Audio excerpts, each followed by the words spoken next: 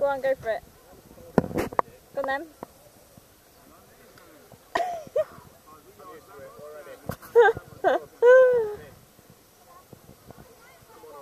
no, it's making my knees shake.